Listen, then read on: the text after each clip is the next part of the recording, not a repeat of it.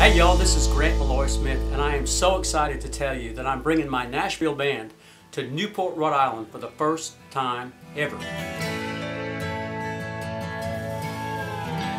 We're going to be at the Newport Playhouse on August the 1st. And right after the show, I'll see you over at the Cabaret and we'll have even more fun. Please get your tickets right now and I'll see you there.